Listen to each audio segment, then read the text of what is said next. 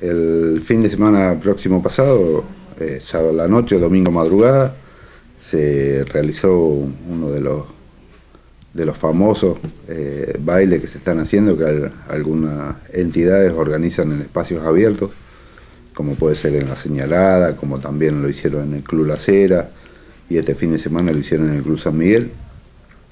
Y para nosotros prácticamente es normal cuando finalizan estos eventos, durante ya cuando se aproxima el horario de cierre, y luego de esto la desconcentración, tratar de cubrir, recorrer todo, todo lo que es la ciudad, este, y, se producen algunos, algunas peleas, algunos enfrentamientos, eh, los muchachos generalmente salen con algunas copitas de más y los que salen vehículos eh, todos son corredores de auto, eh, los que salen en moto también. Bueno, y se produjeron algunos, algunas peleas en la vía pública, eh, en inmediaciones de, del Club San Miguel y a escasas cuadras del lugar. En definitiva, hubo que intervenir. Eh, se trajeron a siete personas, todos mayores de edad, todos masculinos, a la comisaría donde se iniciaron actuaciones por infracción al artículo 72 74 y 38 del Código de Falta, en donde interviene la jueza de paz de, aquí de la localidad. Te aclaro que el 72 y 74, esos artículos son ebriedad y desorden. Y el artículo 38 son vías de hecho cuando se golpean sin llegar a lesionarse. Ese mismo artículo, eh, para algunos que no tienen conocimiento, prevé que eh, incurren en la misma infracción,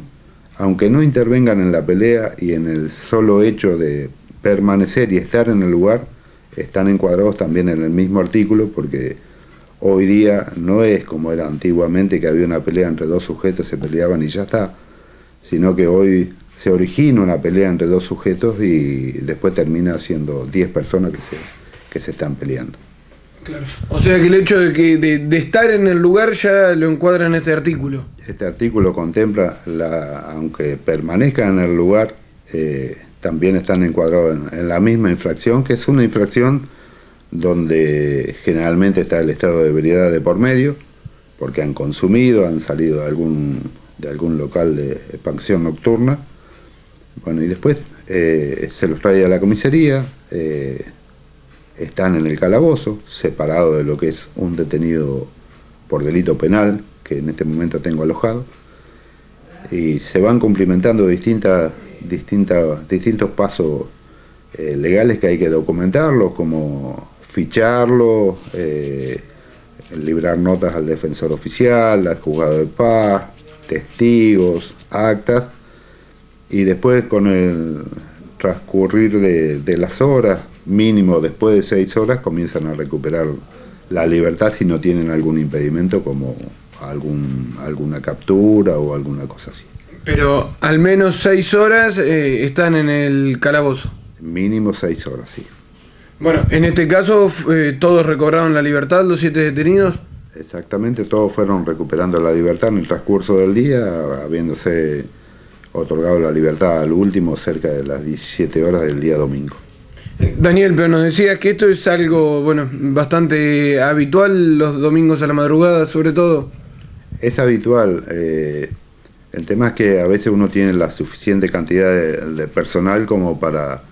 eh, disuadir y dispersar. Pero muchas veces eh, los muchachos no entienden las indicaciones de que ya se divirtieron, ya pasó la nota, la noche ya la pasaron y ya son las 7, 8 de la mañana y es lo normal que deban concurrir ya a sus domicilios, bueno, pero se quedan haciendo tiempo, eh, se originan las discusiones y cuando no están alterando el orden público y no acatan la orden de que ya fue y que se tienen que ir a sus casas, bueno, en definitiva actúan o reaccionan ante las indicaciones del policía y ya se resisten a lo que es sin llegar a, conformar un delito y por ese motivo después hay que conducirlos a la comisaría.